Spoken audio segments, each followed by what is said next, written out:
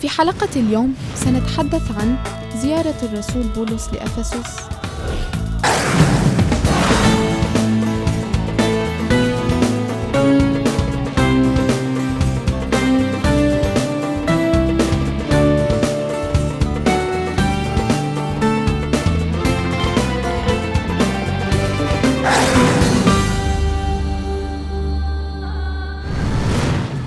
أعزائي من منطقة أفسس العليا أريد أن أتحدث عن زيارة بولس إلى هذه المدينة مدينة أفسس أنا موجود في منطقة البازيليكا القديمة من أيام الرومان خلف المسرح الموسيقي وأحيانا كان يستخدم للاجتماعات السياسية لأنه المنطقة العليا تسمى الأجورا أو المنطقة اللي كانوا يعالجوا منها الأمور السياسية. لكن رح نذهب إلى ساحة الميدان في المنطقة السفلى اللي كانت منطقة تجارية أو دينية أيضا. هذه الزيارة زيارة عظيمة لبولس الرسول وتغيرت ناس كثير رح أتحدث عن هذا الموضوع بعد قليل.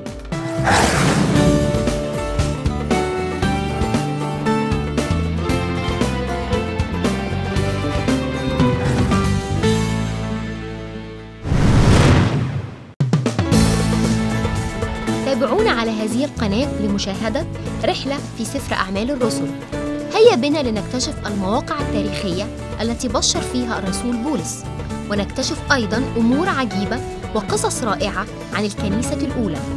شاهد هذه الحلقات الخاصة من حلقات الكنيسة الأولى رحلة في سفر أعمال الرسل.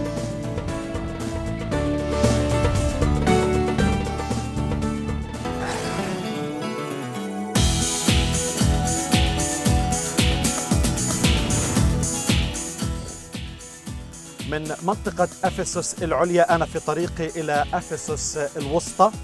مثل ما شايفين معي أنا بمر في بوابة هيركوليس هذه البوابة اللي بتاخذنا لمكتبة سلسس على الطريق الروماني القديم. تعالوا معي. وبينما أبولس في كورنثوس وصل بولس إلى أفسس بعدما قطع أواسط البلاد فوجد فيها بعض التلاميذ. فقال لهم هل نلتم الروح القدس عندما آمنتم؟ قالوا لا ولا سمعنا حتى بوجود الروح القدس. فقال وأي معمودية تعمدتم؟ قالوا معمودية يوحنا. فقال بولس عمد يوحنا معمودية التوبة. داعيا الناس إلى الإيمان بالذي يجيء بعده أي بيسوع. فلما سمعوا هذا الكلام تعمدوا باسم الرب يسوع. ووضع بولس يديه عليهم فنزل عليهم الروح القدس وأخذوا يتكلمون بلغات غير لغتهم ويتنبؤون. وكانوا نحو اثني عشر رجلا. ودخل بولس المجمع فأخذ يتحدث بجرأة عن ملكوت الله مدة ثلاثة أشهر يجادل الحاضرين ويحاول إقناعهم. فعاند بعضهم ورفضوا أن يؤمنوا بل تكلموا بالسوء على مذهب الرب عند الجماعة كلها. فتركهم بولس وانفرد بالتلاميذ يحادثهم كل يوم في مدرسة تيرانوس. ودامت هذه الحال مدة سنتين حتى سمع جميع سكان آسيا من يهود ويونانيين كلام الرب.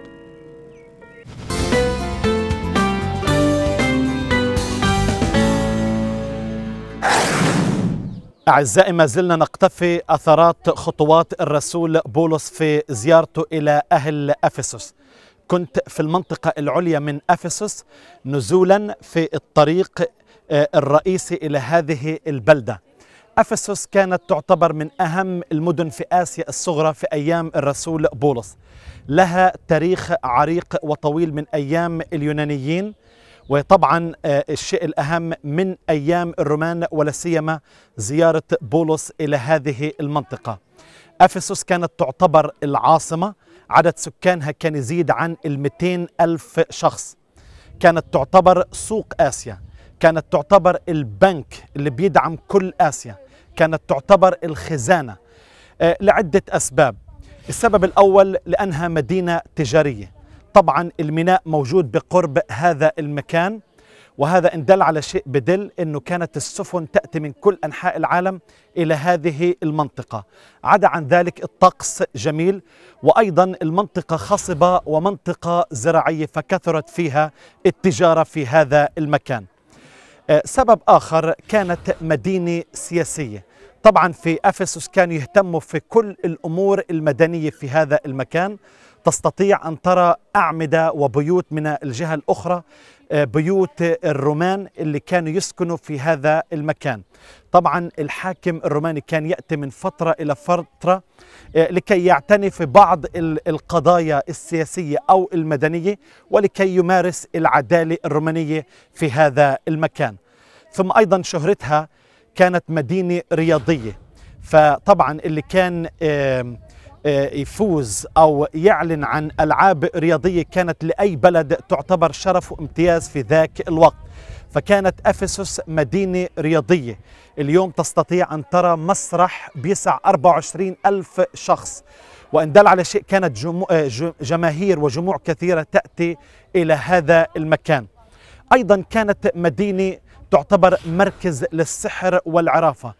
كل أنواع العرافة والتعويذ كانوا يأتون من كل البلاد لكي يشتروا أحوذ آه، أحجبة وتعاويذ تساعد الناس في الحظ تساعد العاقر على الولادة تساعد على الشخص الغير سعيد إنه يكون سعيد أو اللي بتخلفش تخلف. وهكذا كل أنواع السحر والعرافة كانت تمارس في هذه المنطقة. أيضا شهرتها افسس أنها كانت مدينة دينية. فانتشرت المعابد في كل مكان. بالواقع تستطيع أن ترى الأصنام والتماثيل في كل أنحاء المدينة. هذه الأصنام بتعبر إنه كانت مدينة آه، آه، دينية. كثرت فيها العبادات من أيام اليونانيين وأيام الرومان حتى بنوا معبدين لآلهة المصريين حتى يجتذبوا السياح والتجار المصريين في هذه المنطقة. عدا أنه كانت مركز للعبادات الوثنية والهرطقات والبدع حتى في أيام الرسول بولس بدعة الغنوصيين وبدعة المهودين إلى آخره. لكن أكثر شيء بتتميز فيه هذه آه، المدينة هي عبادة آه، الإلهة أرطميس. أرطميس الكلمة اليونانية لكن ديانا هي الكلمة آه، الرو- الرومانية. فكانوا من كل البلاد يأتوا ليعبدوا هذه الإلهة. أنا موجود في منطقة أفسس الوسطى وراي آه، المكتبة الشهيرة مكتبة سلسس تعتبر المكتبة الثالثة في العالم أنذاك. آه، المكتبة الأولى كانت في الإسكندرية المكتبة الثانية كانت في برغاموس وهذه المكتبة الثالثة في منطقة أفسس وتستطيع أن ترى بوابة قديمة. هذه البوابة بوابة مازوس متراديتس التي تقود إلى الأجورا إلى المنطقة ساحة الميدان العام. المنطقة التجارية. وطبعا هذا الطريق الرخام يقود إلى طريق آه، الرخام الميناء الذي يوصل المدينة بهذا الميناء. أعزائي سأواصل حديثي عن هذا الموضوع. إن المكتبات الكثيرة هنا التي حرقت لكن الكتاب الوحيد والأعظم الكتاب المقدس ما زال يمتد.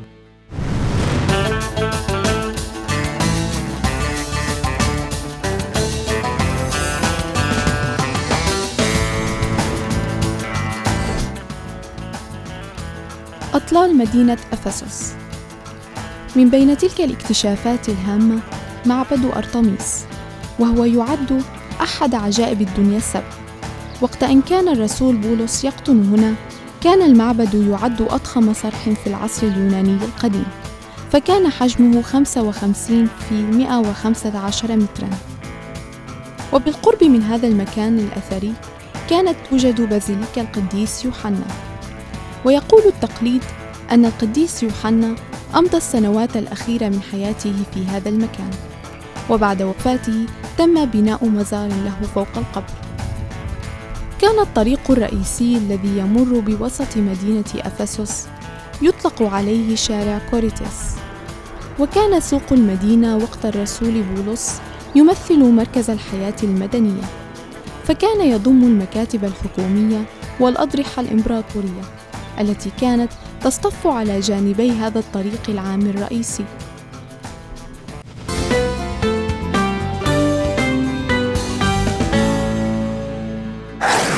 أعزائي عندما جاء بولس الرسول إلى منطقة أفسس تقابل في الأول مع مجموعة من تلاميذ يوحنا المعمدان اللي آمنوا بمعمودية يوحنا لكنهم لم يعرفوا يسوع.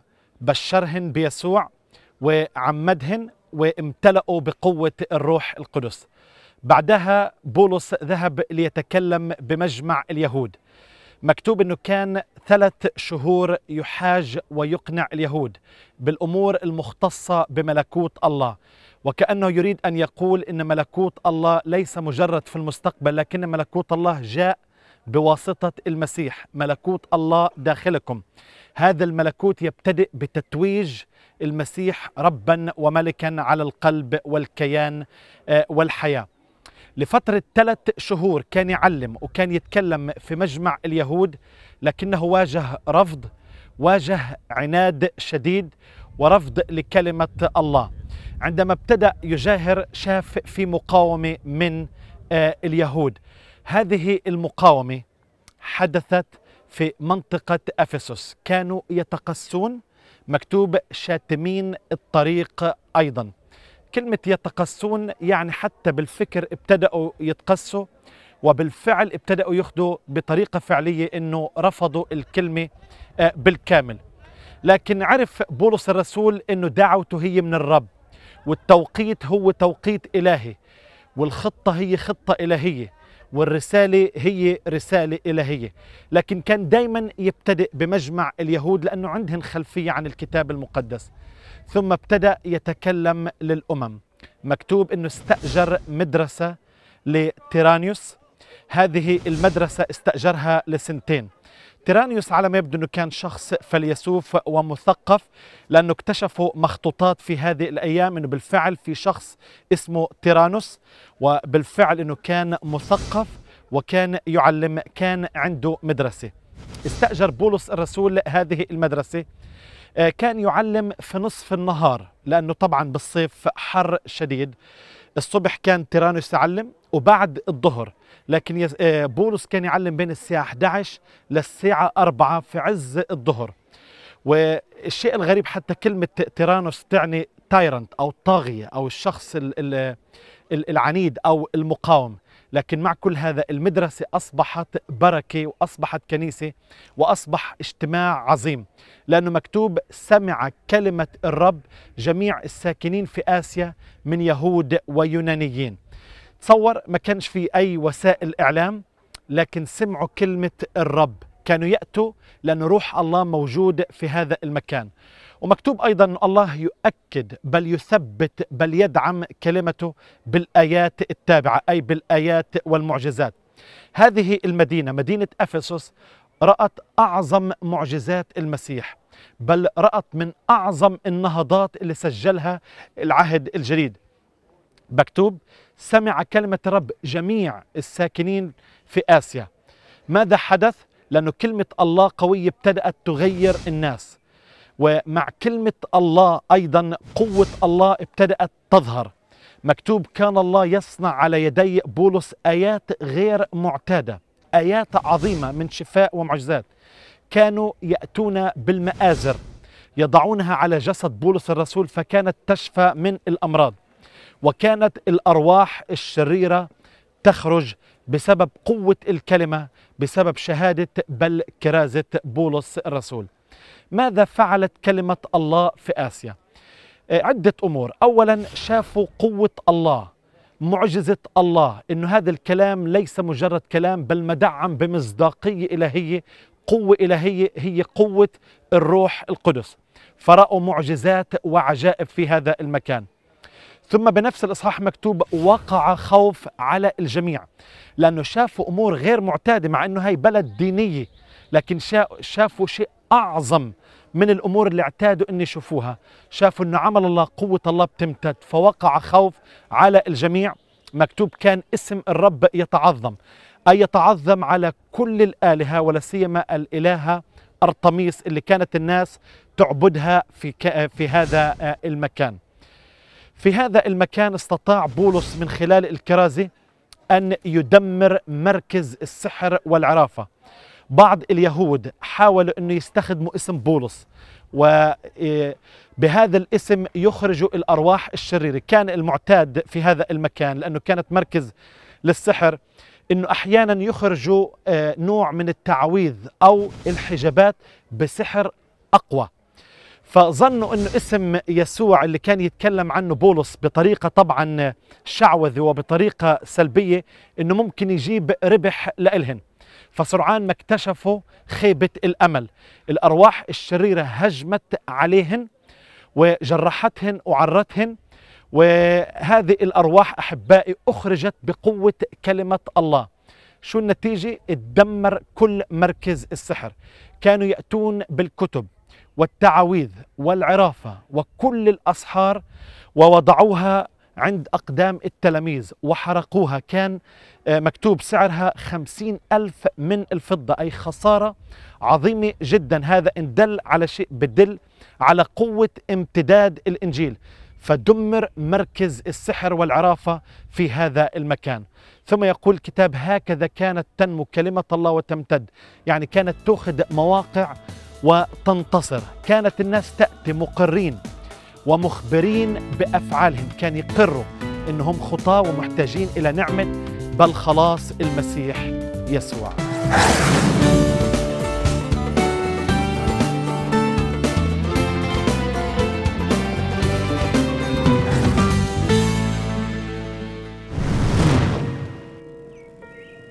وكان الله يجري على يد بولس معجزات عجيبة. حتى صار الناس يأخذون إلى مرضاهم ما لامس جسده من مناديل أو مآزر. فتزول الأمراض عنهم وتخرج الأرواح الشريرة. وحاول بعض اليهود المتجولين الذين يطردون الأرواح الشريرة أن يستخدموا اسم الرب يسوع.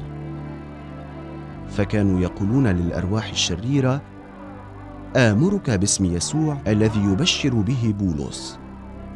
وكان لأحد رؤساء كهنة اليهود واسمه سكاوى سبعة أبناء يحترفون هذه الحرفة.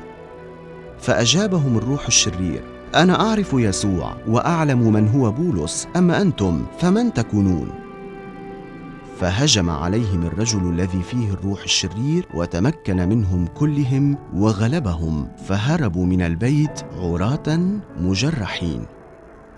فسمع أهل أفسس كلهم من يهود ويونانيين بهذه الحادثة فملأهم الخوف وتعظم اسم الرب يسوع.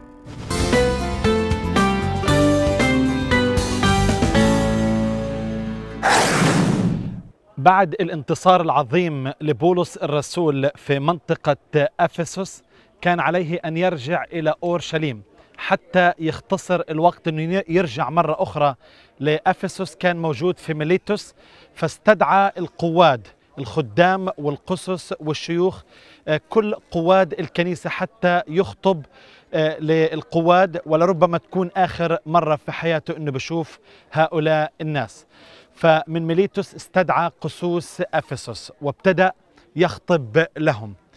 في هذه الخطبة راجع معهم عدة أمور، راجع معهم الماضي، ناقش الحاضر وحذر طبعا من أمور ستحدث في المستقبل. راجع معهم الماضي أراد أن يظهر لهم دوافع الخدمة الحقيقية. بولس كان يخدم لأنه كان بحب الله، كان مكرس للرب. ولم يخدم لأسباب مادية ولا مطامع آه، أنانية ولا لأي هدف أخرى لكن الرب كان في حياة بولس اولا ثم من خلال حديثه علمهن عن أسلوب الخد- الخدمة. الأسلوب كان دائما منسجم في حياة بولس أنه علم وعمل فكان شهادة حية وكان يخدم بتواضع وبدموع كثيرة. كان يصلي من أجل شعب أفسس. ثم تحدث عن رسالة الخدمة. في هذه الرسالة قال لهم أنهم أنه لم يؤخر شيء من الفوائد. لكن حدثهم بكل مشورة الله. أي رسالة الخلاص بالكامل ما خلاش ما خباش أي شيء. خبرهن بكل التعليم كل ما كان يملك بولس من معلومات. خبر القصوص والمعلومات اللي عنده ما أخرهنش أعطاهن للناس الآخرين. هذا أسلوب جميل جدا ورسالة واضحة في خدمة الرسول آه، بولس. شيء آخر مش بس علم عن أسلوب الخدمة ورسالته في الخدمة لكن آه، بشوف أعظم آية اللي بتلخص حياة بولس الرسول. قال في إصحاح 20 آية 24 ولكنني لست محتسبا لشيء ولا نفس لكنني لست أحتسب لشيء ولا نفسي ثمينة عندي حتى أتمم بفرح سعي والخدمة التي أخذتها من الرب لأشهد ببشارة نعمة الله. فواضح هاي الآية هي بتلخص خدمة وحياة بولس الرسول. فمن خلال هذه الآية نرى عدة صور آه، بولس تكلم عنها. أول صورة رأى نفسه كمحاسب لست أحتسب لشيء. فالحسب الأولى حسمها أنه يسوع هو الأولوية الأولى في حياة بولس آه، الرسول. ثم رأى نفسه أيضا كرياضي حتى أتمم بفرح سعي. وهو بيتحدث عن صفة آه، الرياضة شاف نفسه رياضي أنه لازم يصل للهدف المنشود أي يصل حتى يأخذ الجائزة أو آه، التاج. ثم أيضا يشبه نفسه هون بوكيل. أي الوكالة كان أمين في دعوته خدم بكل أمانة. ثم أيضا شاف نفسه كشاهد لأشهد ببشارة نعمة الله. فشاف نفسه لأنه هو اللي شاف الرب المقام فعليه أنه يتكلم برسالة حية بمصداقية أنه رأى الرب المقام فأراد أن يشهد بحياته وتعليمه عن الرب يسوع المسيح. ثم أيضا شاف نفسه مبشر لأشهد ببشارة نعمة الله. البشارة تعني الأخبار السارة عن النعمة عطية الله المجانية التي لا نستحقها. هذه البشارة هي الأخبار السارة أي أنه الشخص الأول اللي لازم يخبر الناس المحتاجة أنه تسمع أخبار الخلاص وأخبار الحياة آه، الأبدية. ثم أيضا نظر أو رأى نفسه أنه حارس. على برج عالي وهذا الحارس هو الذي يحذر من أمور في المستقبل. عندما قال إني بريء أشهدكم إني بريء من دم آه، الجميع. حذر أيضا من أمور مستقبلية. حذر من آه، آه، عن كذبه من الداخل وعن هجمات من الخارج. وبيوصفهم ذئاب خاطفه رح تيجي في وسطكم وهذه الذئاب ترمز إلى التعاليم الضالة والمزيفة اللي راح تجتاح هذه آه، المنطقة لأنه أفسس كانت معروف مهد البدع والهرطقات في هذا المكان. فحذرهن إنه يثبتوا في الإيمان ويكونوا مستعدين لمجيء الرب وإنه يثبتوا بنعمة الله وينموا آه، في كلمة الله. فحذرهن من المستقبل من السهل أنه الإنسان يتناسى هذا الموضوع. شو المشكلة في حياة الخدام؟ حياة اللامبالاة أو الحياة السطحية أو الطمع والأنانية أو حياة الكسل والتراخي والأنانية اللي في حياتنا. فحذر من هذه الأمور. وعلى فكرة أفسس كانت من أعظم مدينة. حذر أيضا آه، الرسول يوحنا عندما جاء وعاش في أفسس أيضا. حذر كنيسة أفسس في سفر الرؤيا. وقال أخاف عليكم إنه تركت محبتكم الأولى فحذرهم من المحبة الفاترة المحبة الباردة. وللأسف الشديد بعد فترة زمنية إنه نسيت المحبة الملتهبة. واليوم مثل ما بتشوفوا أفسس أكوام من الحجارة. تمت نبوة بولس وتم تعليم الرسول يوحنا إنه تكلم بالفعل آه، إنه كلمة الله عملت آه، أمور عظيمة كنائس بنت لكن زلزال عظيم اجتاح هذه المنطقة واليوم نسبة المسيحيين ضئيلة جدا في هذه المكان. طبعا أعظم كتاب اللي بيثبت هو كتاب الله. مثل ما شايفين هذه كانت أعظم مكتبة في العالم القديم للرومان في آسيا في أفسس. فالكتاب المقدس هو أعظم كتاب اللي بيحذرنا أنه ننتبه ما نكون متراخين أو طماعين أو أنانيين لكن نفتح قلوبنا لبشارة ونعمة الله أيضا.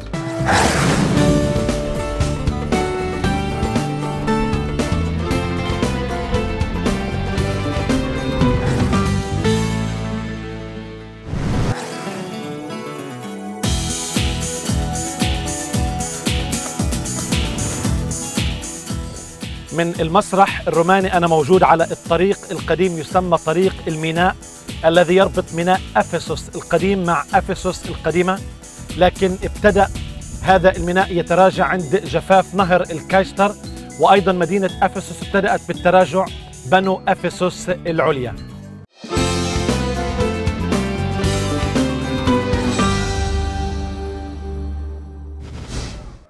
أعزائي زيارة بولس الرسول كانت زيارة ناجحة في منطقة أفسس لأنه اتدمر فيها مركز العبادة الوثنية وقوة السحر والعرافة وانتصرت كلمة الله في كل مكان وتأسست كنائس في هذه المدينة السؤال بأي قوة فعل الرسول بولس؟ طبعا بقوة الرب يسوع المسيح المقام وقوة الروح القدس الساكنة في داخله. إن الإنجيل لم ينتهي ما زال يمتد إلى الأمام. ففي أي منطقة فيها بشارة الإنجيل فيها حرية من العبودية فيها حرية من الأرواح الشريرة فيها شفاء وفيها خلاص للنفس وفيها أيضا حياة أبدية. لربما أنت تشاهد هذه الحلقة أنت تحتاج إلى تحرير مستعبد بالتعاويذ أو الحجابات أو الكتابات لأي سبب آخر. التجئ إلى يسوع المسيح فهو الذي يحمي وهو الذي يغفر وهو الذي يطهر أيضا وهو الذي يعطيك الحياة الأبدية. نعم إن المكتبات الكثيرة هنا التي حرقت لكن الكتاب الوحيد والأعظم الكتاب المقدس ما زال يمتد ما زال ينتشر. افتح قلبك ليسوع المسيح. اقرأ في كلمة الله وأنا متأكد أنه الرب رح يتعامل مع حياتك. حتى أسمع منك إلى اللقاء والرب يباركك. في الحلقة القادمة من برنامج رحلة الكنيسة الأولى سوف نتحدث عن محاكمة الرسول بولس في قيصرية.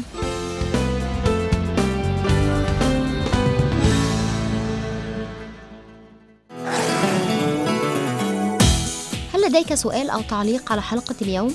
هل تريد الحصول على مزيد من المعلومات عن الحقائق التي شاهدتها؟ لا تتردد في الاتصال بنا على نور at lfan.com كما يمكنك الاتصال أيضا تليفونيا على 001 905 335 1534 أو من داخل مصر صفر واحد اتنين صفر اتنين ستة ستة ستة صفر سبعة. أو من شمال أمريكا 1 800 280 3288 أو